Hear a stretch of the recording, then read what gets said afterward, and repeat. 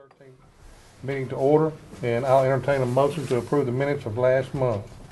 So moved. Got a motion, do we have a second? Second. And a second. All in favor say aye. Aye. All opposed, motion has carried. First on the agenda is the PAWS report. You're welcome. For the month of October, we had 752 animals that entered into the shelter.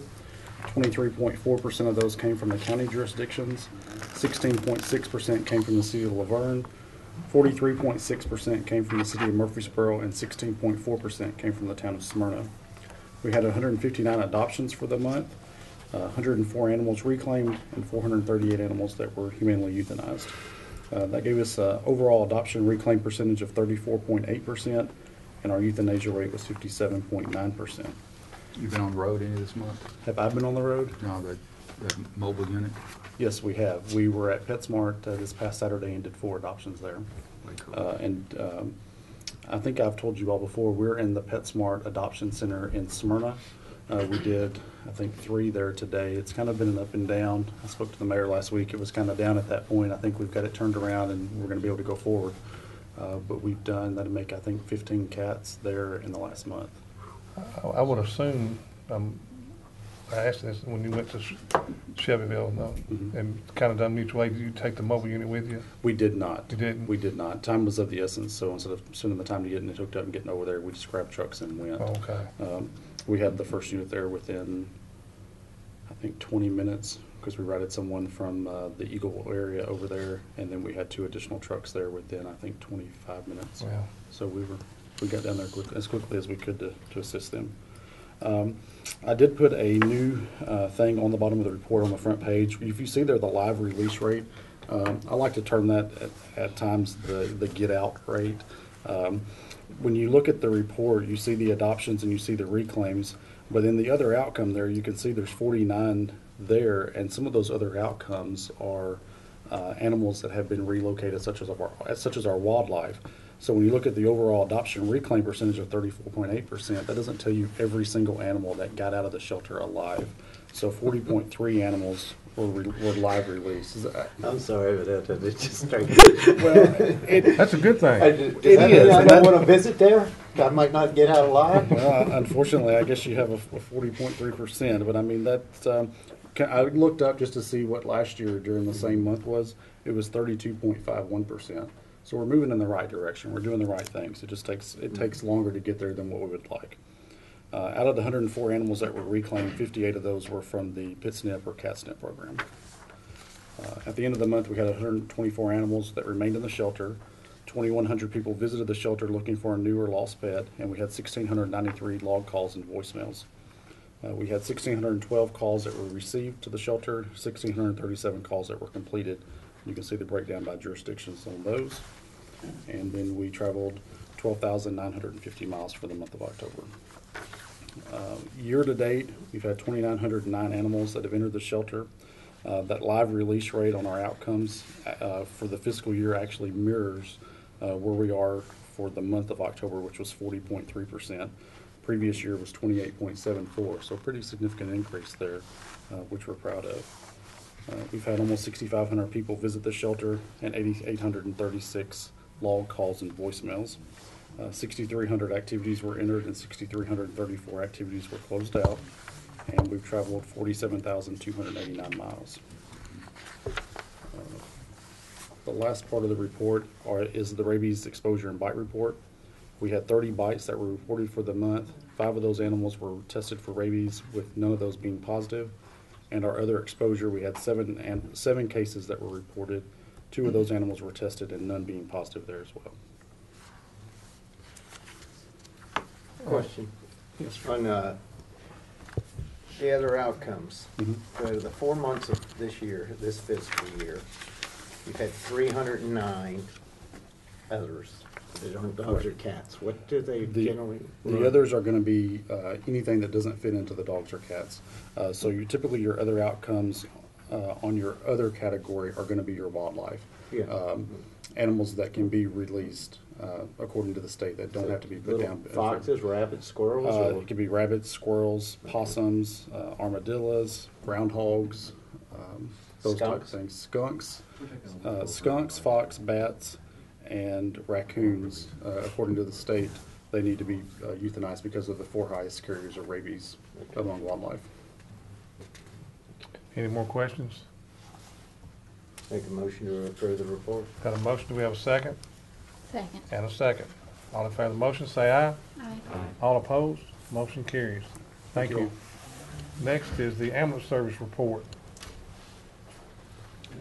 How you doing tonight, Mike? Doing wonderful. Ready whenever you are.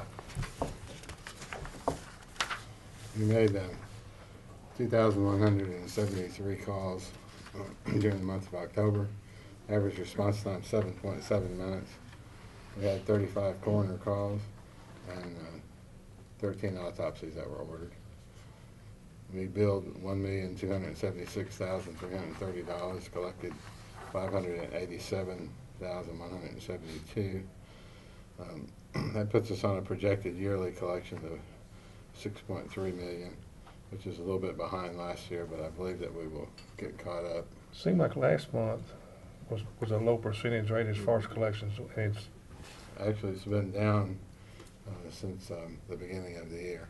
And the reason for that was because the people who do our collections um, switched um, computer programs and it had several glitches in it, and I think we've helped them work that out. Okay. But we'll go back and recoup that. I mean, it looks pretty good at seventy-four percent this month.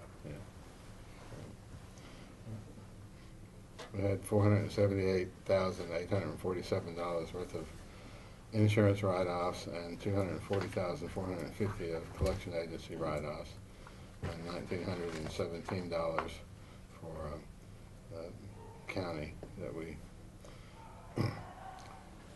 didn't bill. The chart for the ambulances, we drove a total of thirty-eight thousand four hundred and ninety miles. And you see the maintenance costs and the fuel costs per ambulance in totals, uh, as well as the total operation costs. Um, One thing I'll call your attention to, I believe it was Commissioner Schaefer last month found a mistake. the- We had inadvertently listed number, uh, number sixty-two as being a a Standby. backup ambulance, and it was not. What caused that was we had actually taken fifty-five off of the list, and the computer actually decided that it didn't like that. so.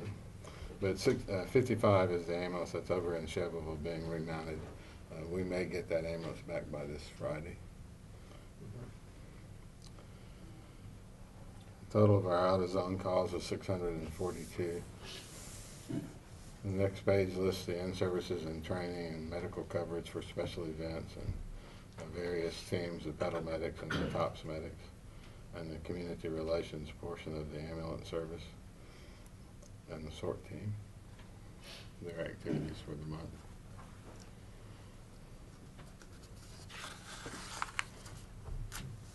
Following page is response time report for each station uh, as to the number of their response times, with the average being seven point seven minutes.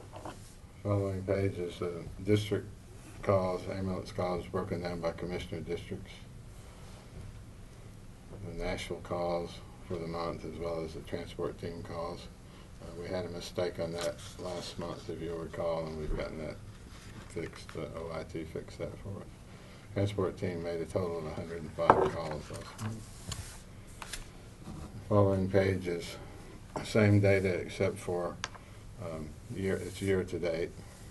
And then the next page is the matrix that we have, um, as to which ambulance made which calls in whose districts. So you can see that data there.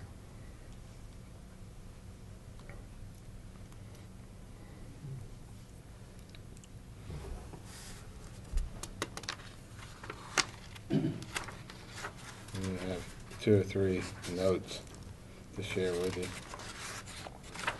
you. Any questions for Mike? How come Salem made so many Nashville calls? What's, Um, what am I missing? That, there's another thing that we'll have fixed by next month. If you subtract the forty that the transport team made, the transport team is actually stationed at Salem, but we don't call that the Salem ambulance. But they have, the transport, uh, calls are added into that figure, so if you subtracted the forty calls, um, that they made, I think they ended up making twenty-six calls or something, Yeah. which is about normal. Like on those calls, it looks, looks like uh, Zone Four, MTSU, keeps getting a large number of calls, and Manchester is serving as their backup. Matter of fact, they did buku more calls in the MTSU zone than they did their zone. Are they the closest? They are the closest to MTSU. They're not necessarily the closest, they're, but they're, they end up being the backup. What, the, the problem is, is that we have MTSU zone and Burton Street zone and Salem zone, which are all connected to each other. And they serve as primary backups for each other. But when one of those teams is out, um, it's like dominoes falling. And, uh, so it, it ends up with Manchester Road being the backup for all three of those ambulances but primarily MTSU. And what, I guess, what, you bring them up on roadside somewhere up, We bring 'em closer up- in town? Bring them up by, in Publix parking lot, so if you see that ambulance in Publix parking lot, that's where they're at. Um, And that way they can respond to all three of the zones. Anybody else have any questions for Mike? If there's no questions, I entertain a motion on the report. I move to approve the report, Mr. Chairman. Got a motion, do we have a second? Second. And a second. All in favor, say aye. Aye. All opposed, motion carries. I think you got a budget transfer. We have a, a budget item. We received a check from Stonecrest Medical Center for six thousand dollars. That's for, uh, the funding of a scholarship. And we'd like to put that into our scholarship fund. That's a, that's a good program right there. It is. Is there a motion to the effect? So moved. We got a motion, and is there a second? Second. Got a second. All right, discussion. Call roll. Commissioner Jeff Phillips. Aye. Commissioner Tiffany Phillips. Yes. Commissioner Schaefer. Yes. Commissioner Stevens. Yes. Commissioner Farley. Yes. Is that it? That's it. Thank you. Thank you. Next is the fire and rescue. How's it going? All right.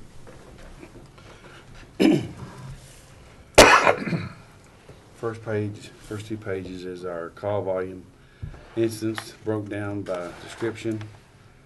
Uh, This is from January 1 to uh, November 18th. So far, the date, our total call volume is 738 calls. The next sheet is uh, each individual incident that we were paged out for, the address and type of uh, call it was. And then on the right side is the uh, response times.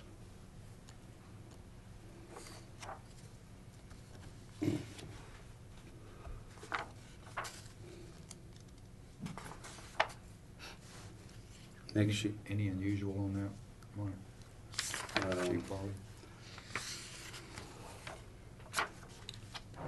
um, uh, other than, uh, the one that comes to mind is, uh, and I was gonna cover it later in port, um, engine fifteen oh five animal truck at an MVA on eight forty, and they responded to that. And we're taught to the, whatever lane on the right, like on the right, the right side lane, if the wreck's on the right side of the road, we're trained to park our fire trucks in that lane, block that lane, and then everything responds in front of that. Well, that night there was a young man coming down the road. It was still dark, running 65 miles an hour, hit the fire truck right in the rear end. And of course, then after he hit the truck, thank goodness all the firefighters and law enforcement were in front of the fire engine, so it saved them. And uh, then after the, he hit the truck, the, the guys had to go out there and cut him out of the vehicle, transport him.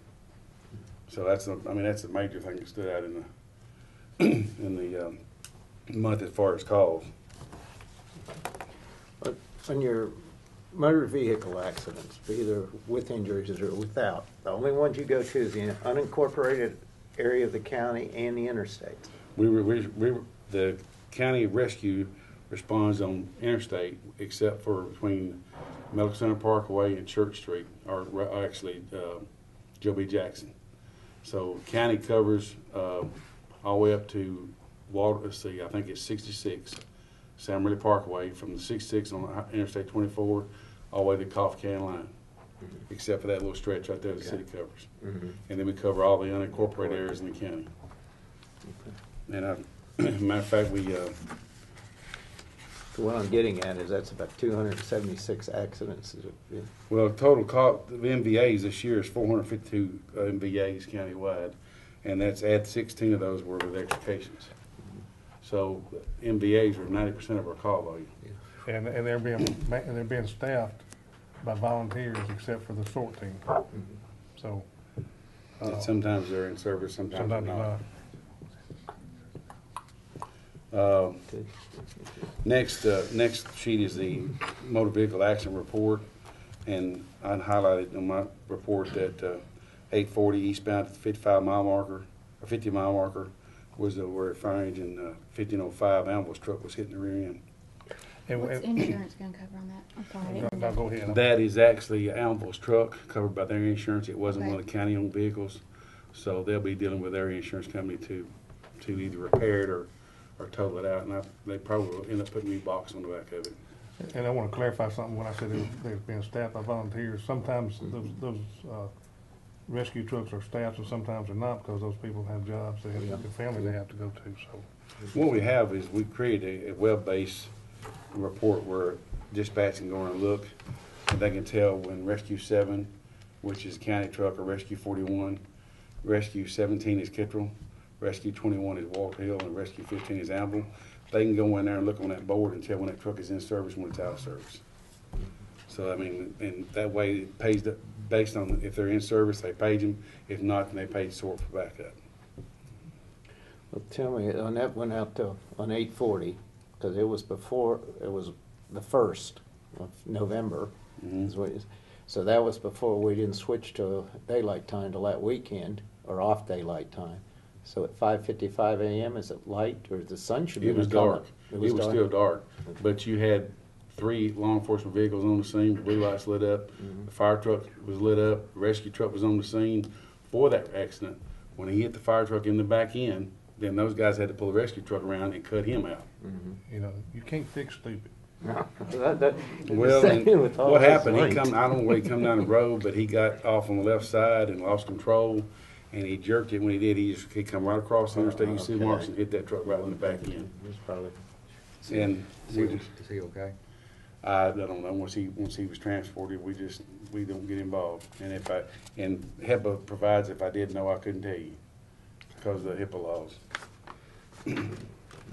But anyway, that's, I mean, that's, that's one of the things we face out on the interstate, you know, and, and a lot of times you're out there working a wreck and then they don't, even- these, they don't check up. I mean, these eighteen wheelers, if they, if they can run sixty-five mile an hour, they run, you know, It was bad that the fire engine was hit, but it, but the safety mechanism that's put in Yeah. place worked. Yeah, and that's why we park it, that's why we park it in- in that lane, and with the wheels turned out, if it hits it, it drives it out in, in the Right. other lane rather than to the responders. Right.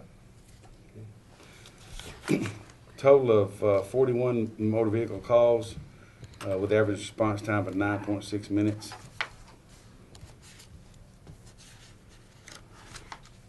Next sheet is the uh, consolidated water report, training hours. There's a total of uh, one thousand eight hundred thirty-seven calls year-to-date. Uh, Like I said, four hundred fifty-two of those are motor vehicle accidents, and um, add sixteen to that number, there's a total number that we- did, act- actually did extrication.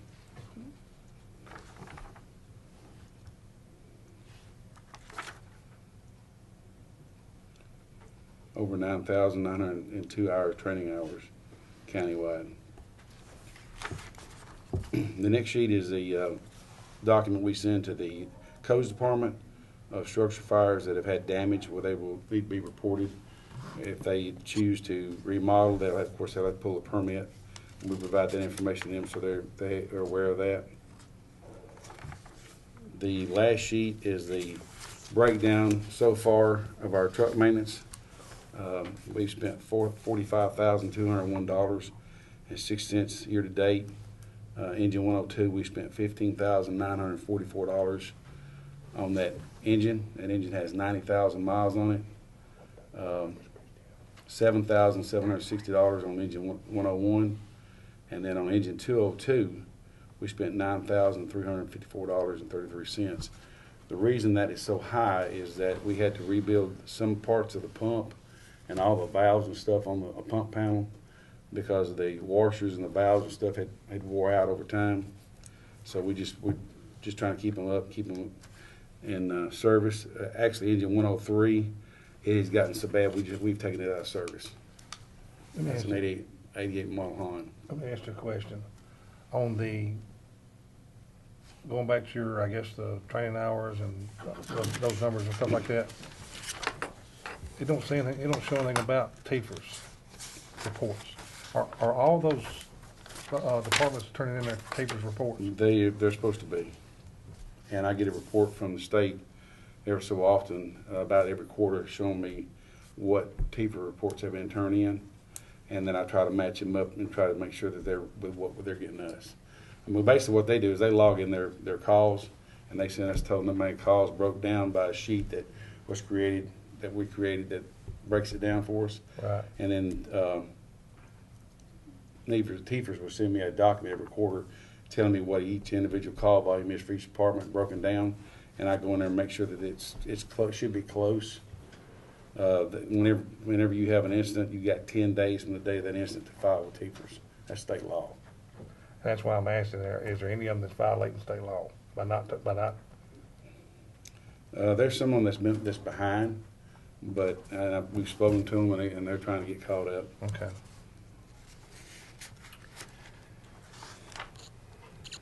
We work with them as, as best we can. Right.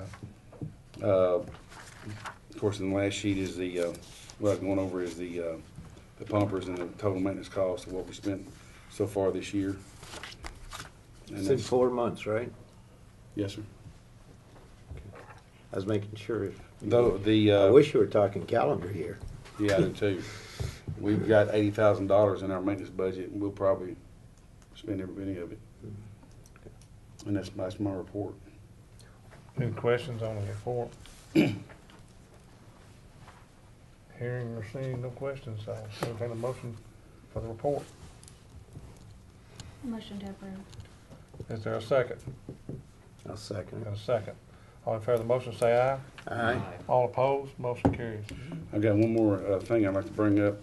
The uh, grant, uh, AFG Assistant Firefighter Grant has opened up, and we're- I'd like to request permission from this committee to apply for a new pumper. Uh, it- It's, we're going to ask, request for three hundred eighty-five thousand for a new pumper and a ten percent match by the county, and the deadline is December sixth to have it in. With- With the preventive, with the maintenance thing that you just, that shows the need right there. Move to approve. Recommend. Got a motion, is there a second? Second. And a second. All right, any discussion? All you're doing is applying for a grant. Yeah, all we're doing is applying for a grant. There's no guarantee we'll get it, and if we do get it, I'll bring it back for this committee, and then we go through y'all budget and full commission to approve it. But thirty-eight thousand dollars, thirty-eight five for a four hundred thousand dollar pumper, pretty good deal, I think. All- All in favor of the motion, say aye. Aye. All opposed, motion carries. Thank you. Thank you. Next is the emergency management report. How you doing tonight? All right. Good evening, ladies and gentlemen. Uh, You have my report there in front of you. Uh, We had very few calls that EMA got involved in this past month. There's only three that were minor. Uh, the- Probably the biggest one was the bus accident, what was rear-ended. We went out there as a precaution just in case it became a larger incident. Wasn't one on eight forty, was it? Uh, No, I'm kidding. No. Don't, uh, don't. But I do want to take this time to, uh, to, to talk to you about the communications upgrade, the tower project, as we commonly call it. Last time I spoke to you, which, uh, in the October meeting, we were just about to go out and do the site, uh, surveys with Motorola and Aviat. Motorola is, is the, uh, uh, program, they provide program management for us. Aviat is the microwave company who works for Motorola uh, went out to all the sites that we currently have and, and have control over. And, uh, a few of the things you see there, some of the stuff that still needs to be done by us to get it going. We're getting elect, uh, elec- electrical service to Smyrna Tower, the site this weekend. That's the Middle Tennessee Electric site. We have approval to do that. Uh, the Milton site electrical is complete as of now, as of now, and the fire antenna has been installed this week.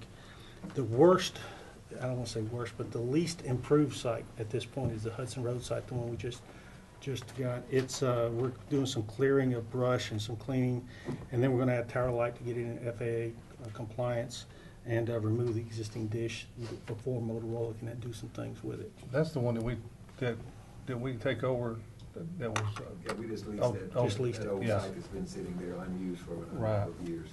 And we're working with the uh, sheriff's office, the, the tower site, uh, there's power there, there's enough power to, to mon, uh, to, uh, for the site at the sheriff's office on top of the jail. However, there's some challenges with getting the power from where it is right now to the, uh, what they call the penthouse, the top of the building, where it's, usually, of course, where the tower equipment's gonna be.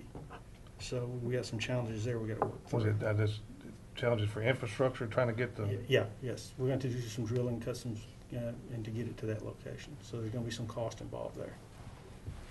Don't know how much right now, we'll put it out for bid. Uh, Also, uh, if you have no other questions on the tower project, I just, just letting y'all know, we're working this with the sheriff's office right now. I don't know if you're familiar with it, but in the nineteen fifties, there was, uh, the, the country, uh, started what's called the uh, National Alert System, uh, warning system, excuse me, National uh, Alert Warning System. And, uh, it's been around since, like I said, nineteen fifties, it was originally, put out for, possible nuclear attack, to be honest with you, and to, keep all civilian officials informed of what's going on. Well, nineteen fifty was a long time ago, and, it's time for an upgrade. And also, it's not just used for nuclear attack anymore, it's used for weather events and things of that nature as well. It's controlled by FEMA now, and they have a, a hard line on this into all the, uh, state headquarters as well. They like to have a node in each county. Uh, and they want to upgrade everything to digital. I gave you a little bit of information on the digital upgrade. There's four packages we can go to, go with. The bottom line package is a phone. All right. All this is going to be internet based. It's going to be voice over internet protocol now rather than hardline. Um, but you can go with phone with no backup, no no satellite backup, or the top line package is uh, data phone with satellite backup, and that runs you about with the maintenance about twenty six hundred dollars a year. Uh, We're talking to the uh, sheriff's office because the sheriff's office dispatch is the ideal location for it. Now, your next question is, where's the old system? Why does it replace it where the old one is? The old one is at Murfreesboro Police Department. Uh, It, don't know how it ended up there, I don't know the history on that, but typically it's at a county level. So we're talking to sheriff's office about that. I have already gone to uh, uh, Steve Smith to see if this is something that uh, 911 will fund. He doesn't think it is.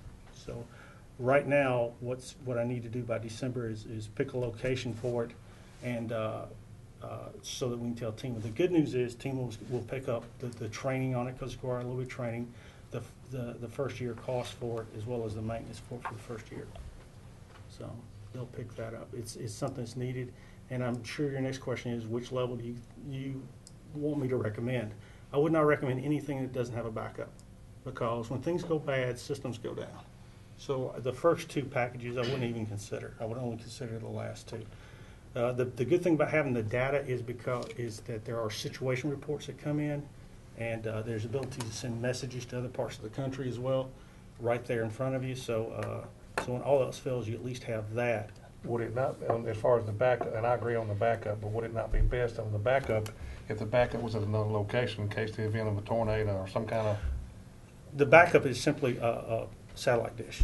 In other words, if the system goes down, it reroutes itself through satellite rather than through, uh, cable internet. so what, where would it be sending the signal to? I don't understand the question.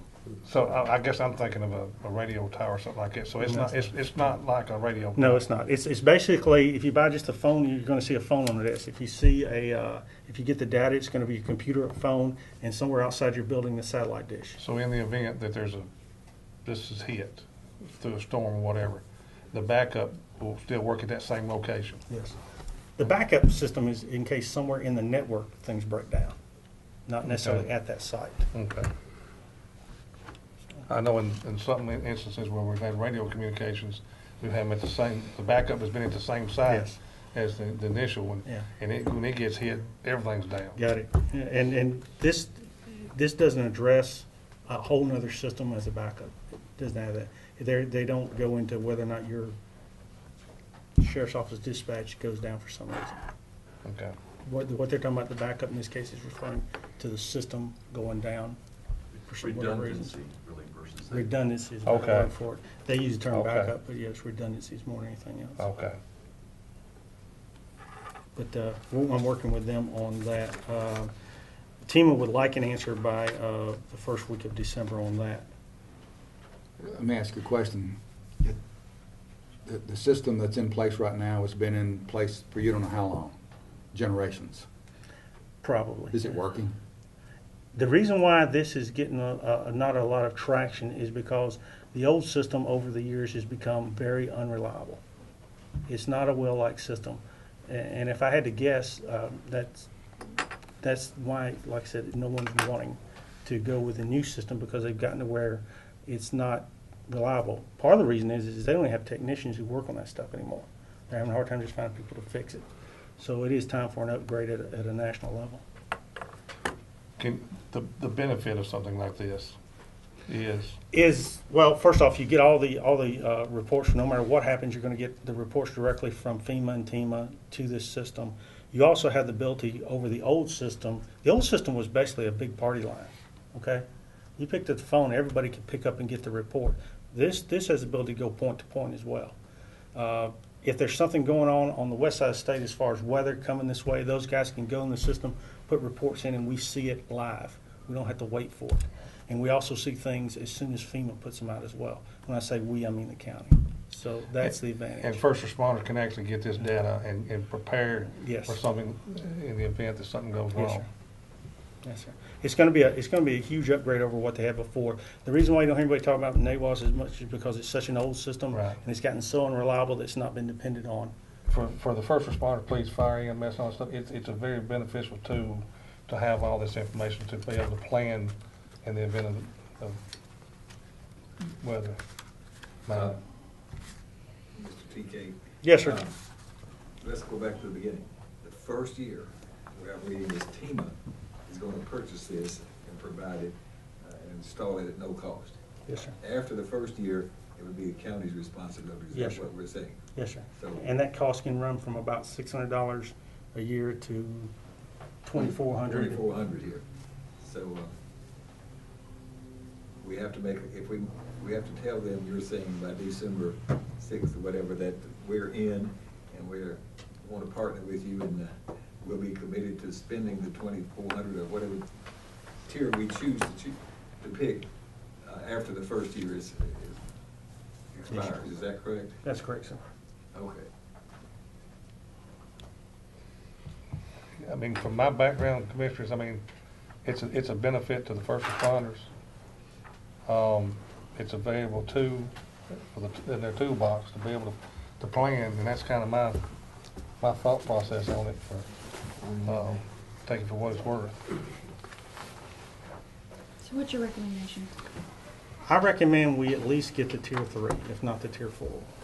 I, I think that's a, like I said, buying something that's meant for emergency communications when things nationwide originally go bad without a, without some type of redundancy, you just, you're kind of wasting your time. And we need to make a decision tonight on which one, or just that we're going to do one of the two? I just need to know, uh, uh, well, yeah, I need to know which package y'all prefer me to go with. So which one's bet, which one, I would say go with, uh, uh, with, with, a- with a county of this size and growing, I would say you probably need to go with package four. I know that's the most expensive one, but that's the one that's gonna give you the most capabilities going forward, because what you're gonna run into is, since this is new technology, is, is if we continue to grow and we decide, hey, we wanted the data piece and the redundancy as well, you're just gonna end up paying for that later. Right now, you can get TEMA to pay for the first year, get it installed and everything the way you want it. Why do you need the data and not just voice? situation reports. Uh, The, the voice is, every time you need to know something, you got to initiate a call and find out, or the dispatcher will. Uh, In this, with the situation reports and things being fed to you, you glean out what you need as you need it. It's, it's being produced and you're getting it live. And at the time of dispatch is gonna be covered up, and there's, and, and then picking up the phone and calling to get that data when it's already coming to you automatically is a very benefit. Yes. And then, like I said, also along with that first year, they're gonna provide the training, the initial training for it. Mayor Burgess have a recommendation? Well, just listening, I've heard what you've heard, and I haven't participated in this discussion before. I don't know what, uh, Mr. Davidson is, and I, but for twenty-three hundred and fifty-nine dollars a month, uh, I mean, a year, excuse me, I believe we can afford that, uh, and we need that to First support two that we citizens. threw out. So I recommend we go with Go to the tier next four. page, we'll look at these. That's what I need to know. I'm, I'm not sure, I haven't, I don't have, I know all the details on this particular system. Before I left active duty, there was discussion about this, sys- a system similar to this that had additional hardened capabilities. In other words, could be, uh, could defend against different types of cyber attacks, that type of, Uh, threat, uh, that appears to That be thing emerging. right there. Okay. Uh, and, and the information we've gotten so far, without a lot of details on it, is that it has some hardening capabilities. So, put it at the. What is the will of the committee? Just have to go to budget? Well, yes, it should go ahead and go to budget, even though we don't fund any money this year, we just need to go ahead and sort of get, we don't wanna make an agreement to enter this unless we're committed to following through with spending the real money the second year. So I think they need to be informed and let them make the decision with us. Recommend uh, level four funding and send it to budget. We have a motion, is there a second? Hate spending fourteen, over tw- over twice as much, but, uh, I think it, from what y'all have explained, if you're gonna get it, you might as well get the, the best one that can do it, so I'll second it. Uh, we got a motion and a second, are there any discussion? One other thing, if after a couple of years, we don't like it, and they're deciding to jack it up to twenty-four thousand dollars a year instead of twenty-four hundred bucks a year, is there an option? I don't know, but I, I would say yes. I mean, all agreements typically can be ca- uh, canceled with proper notice. I came in a little late on this discussion, but I'm pretty much aware of what you got going on, but, uh, what, the, the tier four elite package, how is that gonna notify us better? I, I notice you've got satellite and internet there. Well, the How exactly is it used? Is it, Yeah, the satellite provides a redundancy in case there's, a- there's a problem. The, uh, the, like, like I was, uh, rough before you came in, when you have the data, you are able to receive the status reports and such as that without having to pick up the phone and go find information. Uh, so it, the, the, the data is probably gonna be your most used product of this. It'll come into, to the dispatch center, uh, Well, what All you it- gotta do is find it. put it, put it in the real world for me, uh, let's just relate it to what happened up in Indiana, Illinois this week.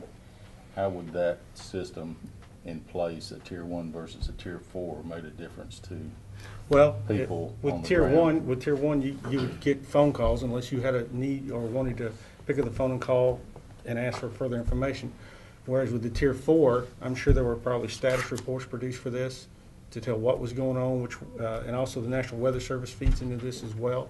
So you're getting, you're getting feedback without having to go out and find it. It'll be right there in the system being fed to you. And that's the reason I think that part of it's gonna be your most used part, because we're all used to, that's kind of what you're used to now. That's what you're doing right now with those pads. Aren't we, aren't we at some level have that information already? Uh, Depends on if it's, if it's a national uh, event or a state event that's not necessarily right here. There are other ways we do get some of that information, but this is the, the national uh, warning system. This So is who- something that comes down from FEMA. So who is, who is giving the sheriff's department their alerts that they put out to the fire departments? I, I think they're listening to a weather radio. In, in the dispatch over is what I'm, was what I think it is. I mean, are you sharing this information, or is this just your agency, or is it gonna be shared to the This sheriff's will- departments? Well, what, Or it'll it needs to be somewhere where it's monitored seven by twenty-four, so to me, that, that implies that it probably needs to be at the dispatch. And we have been talking to the sheriff about it, about whether it's something they want to go ahead and put there. Right now, the one that, Murfreesboro right now. one they got now, Robert, is over at Murfreesboro Police Department, and it's back, I think nineteen fifty is when it was implemented, so it's an older system. Well, I mean, if we're gonna spend this much money, I want something that's not gonna benefit just one agency. No, I it's, want- it's I not want it- meant to be that way. It's, it's, it's supposed to be one node in each county and, and, and that be shared throughout the county. And two, I was wondering about the redundancy there. Like I said, I, I'm used to getting the reports through the fire department, the fire net. Hmm. You know, usually if there's a storm coming, you know, I've got an alert, kinda, hmm. kinda like watching Channel Five, and you'll see, you know, these radar alerts that are going out. And this also is used at national level for other events other than, than weather. I mean, the original, like I said, original uh, intent for NAWAS was invent of, you know, national attack or, or nuclear attack or something of that nature. This is also used for, you know, terrorist type events, such things as that. Earthquakes. Earthquakes, which we are biggest, coming from the west, so we know what to do. So, uh, it's, for, for what it costs, it's gonna provide a, a great deal of information to us. Okay, we've got a motion and a second on the floor. Is there any more discussion? Hearing none, call roll. Commissioner P, No,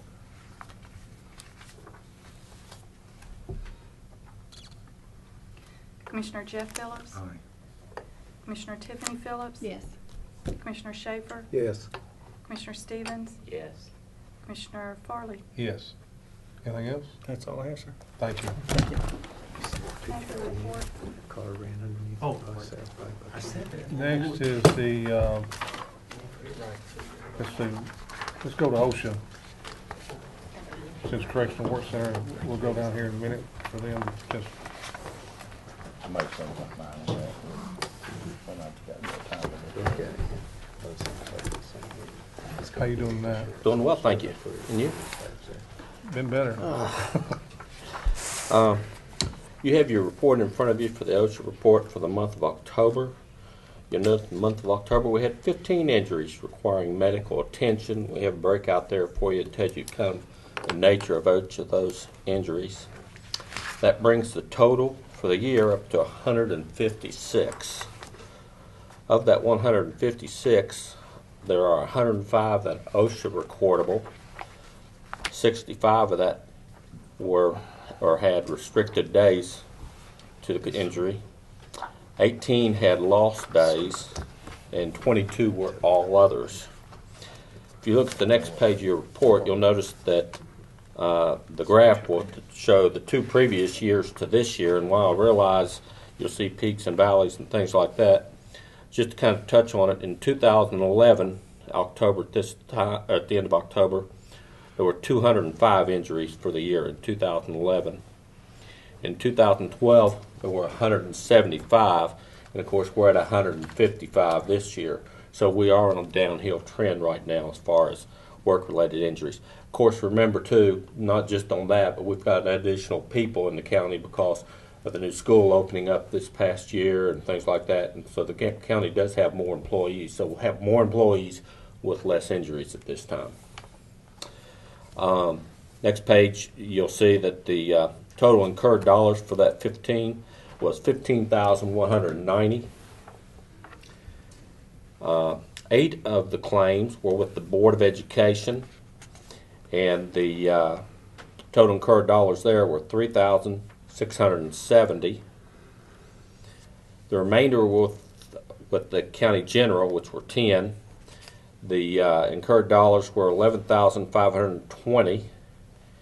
And then on the next page, you'll see where it breaks down the county and it, it lists those different departments. And you'll see that departments that incurred injuries were the sheriff department, the ambulance service, animal services, and there was one here within the courthouse also identified.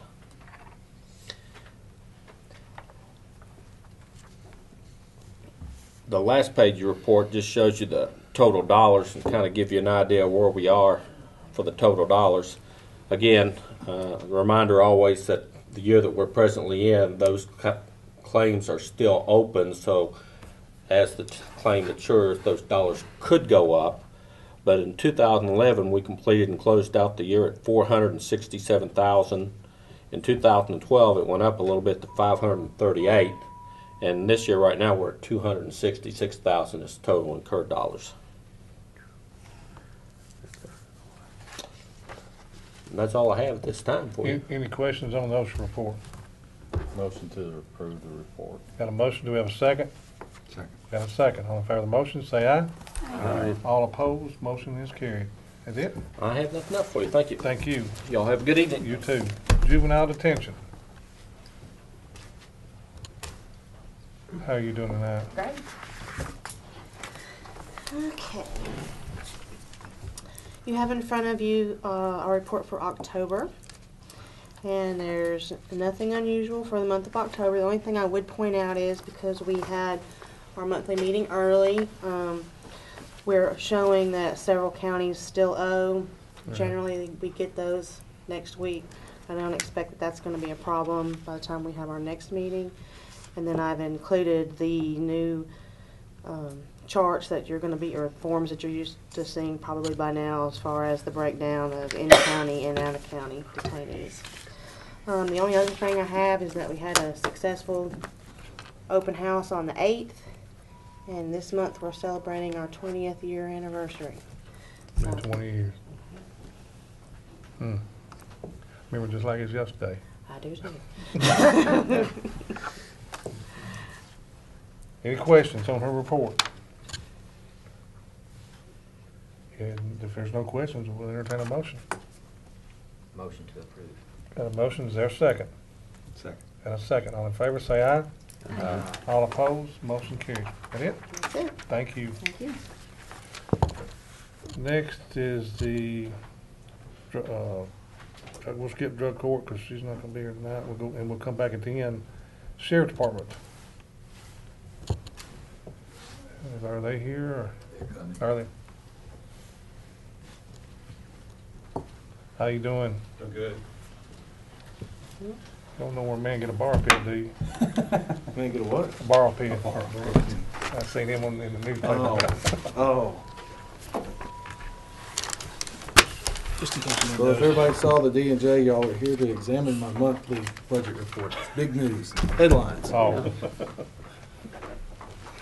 I was wondering what's the, What was the hubbub? what the, Yeah, what's the, nothing new. All right. Y'all ready to go? Yep.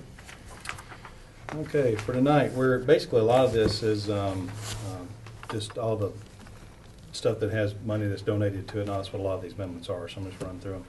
So the first one is uh, donations for the K-9, uh, $670, and we want to put that into the animal supplies line item on the sheriff's office side, uh, $670. Uh, There were donations for scan and a memorial garden that totaled $1,004, and we're going to break those into the two separate, um, two separate budgets that those, those dollars come out of. So it'd be 499, 399, broken down as $954 for 499 and $50 for the other, on the other contract side. Uh, The third one there is a sale of materials that's done by the Explorers, the Memorial Garden, Vegetable Garden, where they sell materials. And so we're gonna, that that totaled up to thirteen hundred dollars. And we're gonna put those into respective budgets, again, on three ninety-nine and four ninety-nine, which is where those, uh, where those uh, uh, funds pull out of. Then uh, for the, uh, we had to sell recycled materials, and we're putting all that money back in our vegetable garden. So uh, there's four thousand seven hundred sixty-seven dollars of recycled materials that came in. Uh, We're gonna put that in our four ninety-nine, which is what the uh, uh, vegetable garden pulls out of. Then on the next one, um, you know, we put on, we put on a lot of classes um, at the, at the office there, and our guys do a real good job, and that way we save the county money anyway by not having to travel and, and things of that nature to go to other, other schools. So we put on schools. So this is where we had uh, money come in for some schools we, we put on. Um, And it generated revenue for the county in the amount of twenty thousand and fifty-eight dollars. So we're gonna put those funds back into the in-service line item for the sheriff's office, and then, uh, repair and maintenance of the building, which I think is down at the range, is where they're gonna put that money. Yes. Yeah, and so, um, uh, thirty, thirty thousand one hundred and eight dollars there. Um, I got a request from our IT. Just give me an example of what some of that training might be. It could be a uh, SWAT school, uh, officer survival school, uh, jail, TCI training, uh, you know, cold case conference that we put on. So there's multiple schools that we put on for different agencies as well as uh, sometimes we go to those at other agencies and we pay to go to those. So when we put them on, they pay to come to us. Is- Has that happened last year, year before, year before? Is Yeah, that- oh, yeah, yeah. Yeah, we've done the cold case conference every other year as Well, we did it first two years I was in office. We laid off one year, and we're doing another one this year. So we're very honored, like Dr. Bass, we have a lot of big names uh, that come in for it. Thank you. Mhm. The uh, IT division for us uh, has requested to move fifteen thousand from data processing equipment into repair and maintenance of equipment. Instead, uh, she decided instead of buying new, she's going to buy parts. And then we have received a uh, SCAMP grant money. Uh, We're going to, four thousand one hundred twenty-eight dollars, we're gonna put that into translating our inmate manuals into Spanish. And that's all I have for that fund there, or for general fund items. All right, Any- is there a recommendation, motion? Do we need to do these separate or do the other one too? Been into, I guess been into separate accounts. Yeah, the- these are general fund, and I'll do Yeah. the next one next. Those narcotics fund, right? Yes, sir. Yes, sir. So, on the first, um, seven, is there a motion? I'll make a motion to approve that. It's all revenue coming in, basically, so. Motion to approve, is there a second? Second. And a second, all right, discussion. But I just have to ask out loud. Mhm. You mentioned translating, and that's something that's mandated for you to do? Yeah, if you, uh, you have to communicate, and if there's a language barrier there, then we have to do, everything is government, we have a due diligence to communicate with them, and so therefore, even if it costs us money, if we have uh, inmates in the facility that speak German, then we need to translate it into German for them. If we don't, we are liable for lawsuits. Two questions along with that. The SCAAP grant, is that state or federal? That's a federal grant that we get for actually housing um, illegal aliens. Okay. And what's the, of the Spanish-speaking people that are in the jails, what's their level of reading approximately? Right? Low? They I all would don't think. know English. Yeah, I know, but even in Spanish, I bet it's low. is- it is is what I'm something you gotta getting at. understand. Hey, yeah. You gotta uh, read it to them? provide it. We have a due diligence to provide it for them, and therefore, if, if we don't provide it for them, then we, the county, are Would you susceptible have to to. provide people to read it to them?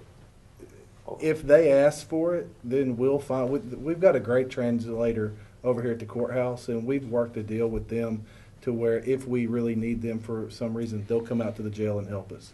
Uh, so the county already has things in place, but this is one thing that we have not had in place, and we do have, you know, about a two percent jail population that is, you know, Spanish speaking, so. All right, we got a motion, and we got a second, and then we've had discussion. Is there any more discussion? Hearing or seeing none, call the roll. Commissioner Peak? Yes. Commissioner Jeff Phillips? Aye. Commissioner Tiffany Phillips? Yes. Commissioner Schaefer? Yes. Commissioner Stevens? Yes. Commissioner Farley? Yes. And we got the drug fund now, right? Okay, yes, sir. Um, with a P is first. So we had, uh, let's see, this is a reco- insurance recovery check that came in for three thousand four hundred twenty-seven dollars, and we want to put that back in, it was, a- it was an ARC vehicle. Uh, we want to put that into our, uh, new vehicle line item, uh, seven eighteen in the, uh, NARC fund, of the drug fund. Motion to approve. We Got a motion, do we have a second? Second. And a second discussion. Call the roll. Commissioner P? Yes. Commissioner Jeff Phillips? Aye. Commissioner Tiffany Phillips? Yes. Commissioner Schaefer? Yes. Commissioner Stevens? Yes. Commissioner Farley? Yes. Okay, I'll entertain any questions on our budget report.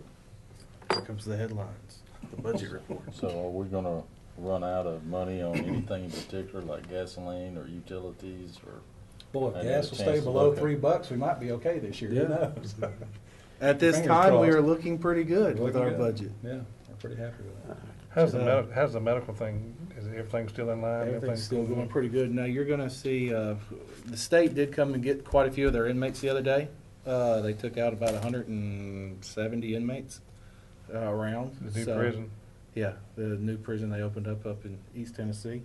So, uh, naturally, uh, we should be, if this stays, the numbers stay the way we are, we'll be really good when it comes to food. Uh 'cause cause naturally, you know, hundred and seventy people, three, three meals a day, it's a lot of meals. So. Were we uh, able to get rid of our, some of our sicker ones? uh, yes, we, uh, asked the state to take those first. Uh, So, uh, you know, numbers are down, and we, we, actually with the numbers down, we're act- actually able to work on the annex. The annex building has not, uh, had any paint or, uh, any substantial work done on it in probably seventeen years.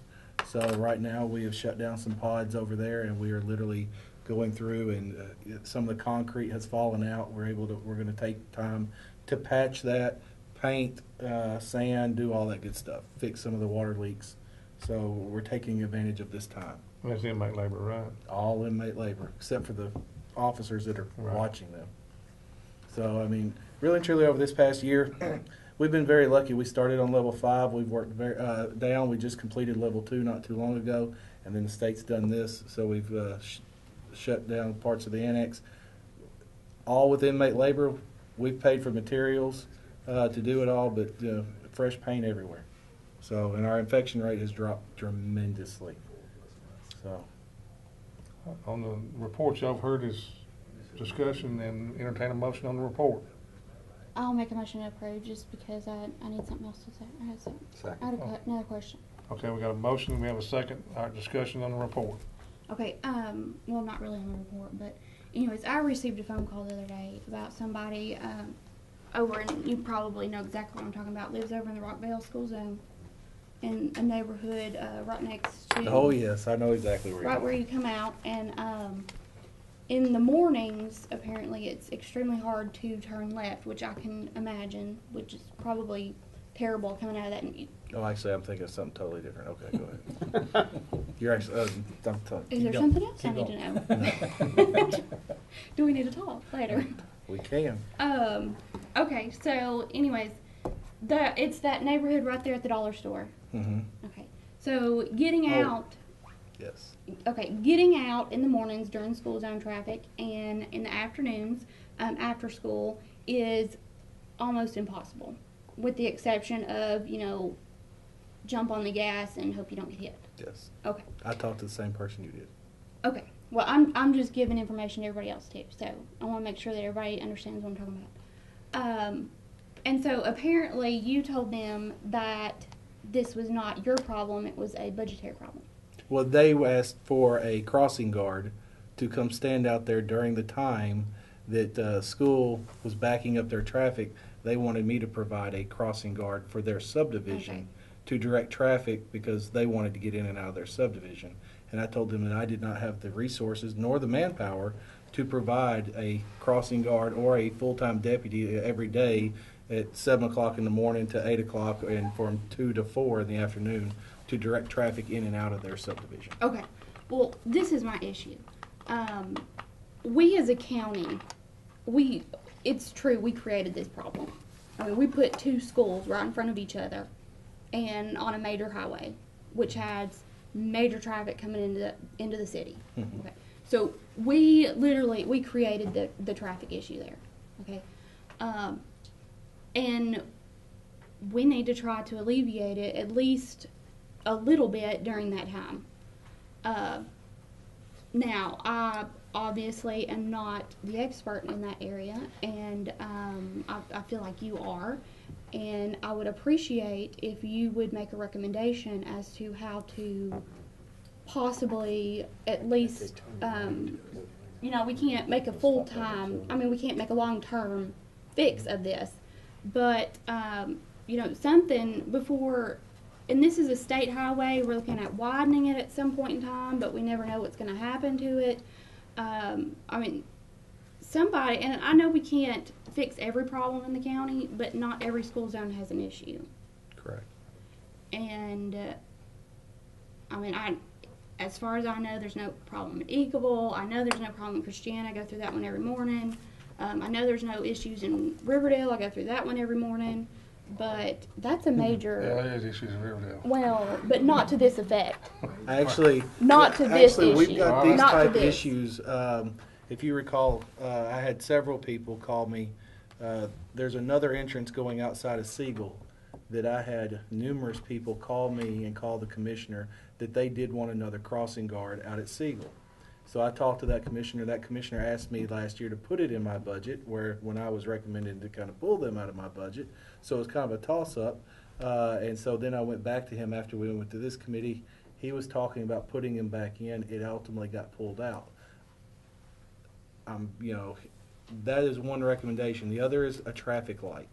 Now, naturally, with that, just like you had to fight uh, right after we all took office for the traffic light down there at Veterans, and, and that was a great thing that you did in, in trying to help working with the mayor's office to get that there because we needed it. The only other thing there, Right Yeah. here. well, it's both of you. Then. I, I know both of y'all, but I, it's- but the traffic light there. Uh, that would be the other recommendation. I've told you many times, your district sits in zone seven, which gets the least amount of law enforcement in the county when it comes to our zones. That's the one that, it- manpower wise, that gets the least. Uh, so there, there's your other, in lies your other problem out there. Okay. It's not just that, one thing I'm gonna throw in, and it's kind of a pet peeve of mine, I- I happen to have a Dollar General on ninety-six, and I insisted on putting turn lanes there. And if planning would insist on putting turn lanes in these businesses, uh, that would help us Yes. too, and that's not coming out of the pocket of the, of the county, and, or, or the taxpayers here, it's coming from the There- business. There was a turn lane on that, on that very Dollar General out there, but the, the commissioner before her fought tooth and nail. Uh, But this is also talk, she's talking a subdivision coming out right next to it. Yeah, this is a subdivision, but right Murfreesboro beside City there. also puts But- turning lanes in well, front of some of the subdivisions, know- go out Bradyville Highway, for instance. Left turns all the time when you go through di- where shopping areas are in this, in ci- it- the It's the cities one and everywhere, you got that the- same problem. And Sometimes you, subdivision ha- right. Yeah. sometimes you have to make a right turn, go down to an intersection and cross and come back the other way. That, that, um, This is what I would like to see happen. Look at it, try and come up with as many different possible solutions, and make a recommendation. If you don't mind. Be glad to. Okay. I'll make a recommendation. But when you, when you do that, you need to review all of the other attendant locations that might have similar situations. Okay. That's, the- unfortunately, the thing is, we do this for this particular situation, and I promise you, You're gonna every have one of y'all other will come cities back too where our and school- want the another schools are. situation. I'm gonna give you my But list before here's you leave. But here's here's the problem. There probably are some other in the county that have a similar situation, but not all of them. And we have to remember that not every area is exactly the same as other. And you can't just say, okay, every school go- zone is going to get two crossing guards, or every school zone is going to get three, because not every school zone is exactly the same. And so, being fair to one school zone might look something different than being fair to another one. I mean, it's the same thing with kids. You don't do exactly the same thing with one child that you do with the other child, but yet you're still being equitable and fair. I can promise you, I can come up with a solution. That We, we as government can come up with a solution. It's all gonna cost us. And that's, that's the thing. I've talked to many elected officials, you know, about these type things. There's not a problem in government we can't fix without some money. Okay. But we've never seen, you've never brought that to this committee to look at in that, in, because whenever we get it, what you do is you create a budget and you put everything you want in your budget and you slam it down in front of us and you say, pick out what you want to take out. No, I have to And- give you the essentials, Okay. and then I give you what I would like.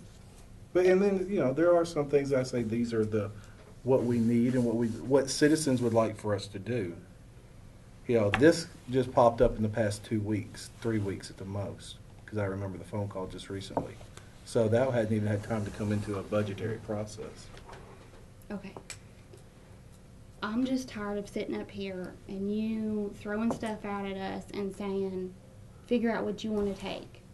Because everything, it seems like everything that you do, you put it in front of us and you, you do it just to get some of the liability off of yourself and put it on us. No, every, everything I do is to take the liability off the county Okay, itself. well, that, that's a good So thing. I don't appreciate that at all. Okay, that's a good thing.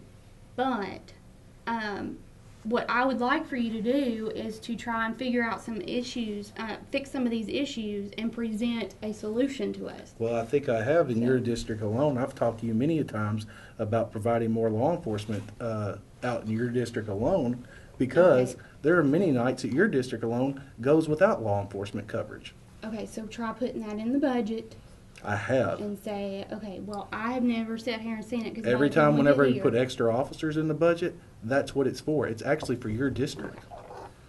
I don't recall us sitting here at a budget time. Somebody We've correct never me talked if- about if your I'm district wrong. specifically, but I put them in the budget, and that's ultimately what it's Okay. for. I'm gonna say one more thing, and then I'm gonna be done with it, and we can talk about it later if you if you feel the need. Um, I don't recall a time in the last three years that we have sat here and said we need extra officers to, and, and I might be wrong. I, I could very well be wrong. Three years is a long time. Um, and we have we've cut out extra an extra officer or so. Am I- We have. Okay. Or, Well, or, then I can- there- there has been. And that was what the five-year Okay. plan y'all asked me to present to you. It has it in the five-year plan. Okay, but there's times throughout the county that, um, you know, if, if somebody's off or something, then why don't we, why do we not have somebody filling in that, that position? It's a manpower issue, the overtime issue. Uh, You know, you only have so many officers. You know, the officers now work twelve-hour shifts. So, uh, you know, it all comes down to paying for it. I, I don't mind giving it to you, uh, and showing you, this is it. You know, that's why when he asked about doing the staffing analysis, I was all for it. Because I think, you know, I've talked to you many times outside these doors about staffing issues here and there. I wouldn't call a Uh, couple many, but okay. I call a couple, a few, you know, several times we've talked about it. I've talked to you at the sheriff's office when you've come down to bring lunch, Okay. you know, about it. Anytime you want to know. There's, I'd love to give you a full statistical review every month of my budget.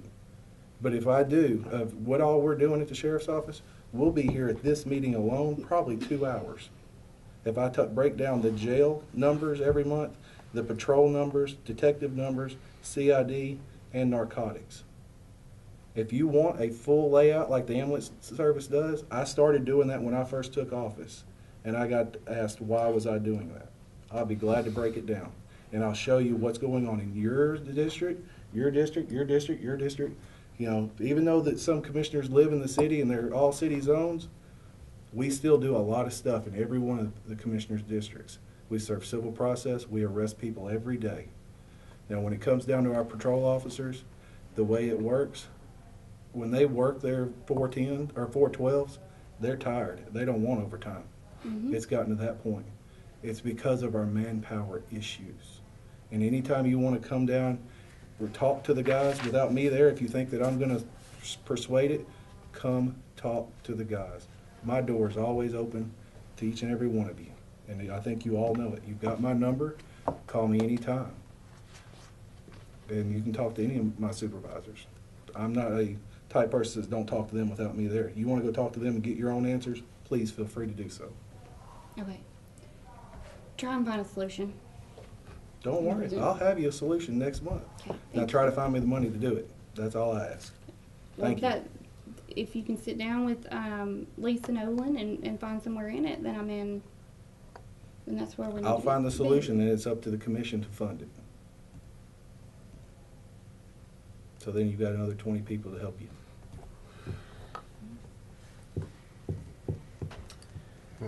Anything else? Yeah, I got one. I was looking for extradition. That's been Yes. something. Just got anything to do with the report? Yes. Good. I can't find it on there. Extradition? What, what, what It's line under item's the, it under? I always get that. Hang. Prisoner transport, uh, five, four, two, one, oh, it's under the jail budget, Two, one, three fifty-four, that's what you're looking for. three fifty-four. And we're down to, uh, sixteen thousand, three hundred twenty-two dollars, three hundred and twenty dollars. Okay. Because I know some of the, these years we've had quite, Yeah. okay. Good. And uh, way more than what was budgeted, for example, it's come out. Okay, I was just wanted to see what it was. And I saw jury and witnesses, and I could figure that one out, so I could. What page you guys on? Uh, the two or three, uh, And it's, three on uh, the. it's under the jail budget, the fifty-four, Oh, oh, two oh. ten. Right there, two or three. Yes, sir. Uh, Which one is it? Five, four, two, one, oh, three fifty-four. It'll be the third line down. Okay. All right, is there any other questions on this, uh, report? All in favor of the motion, say aye. Aye. All opposed, motion carries. Y'all got anything else? Just the invoice for this month.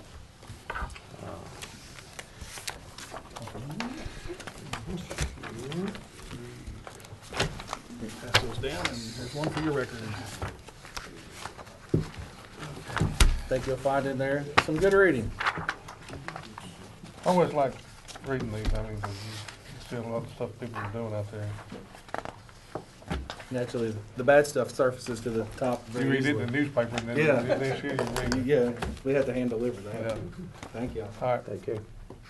let's see here. Next is, um, let's see here, let me get this thing.